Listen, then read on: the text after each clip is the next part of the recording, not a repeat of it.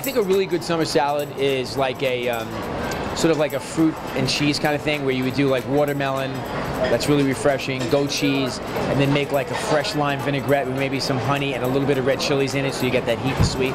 I think watermelon is a really good uh, ingredient to put in summer salads. The salad dressing is what makes it.